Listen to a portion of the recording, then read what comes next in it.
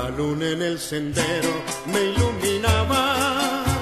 y en el fondo del caño se reflejaba, contemplando tus ojos que me miraban, que me miraban,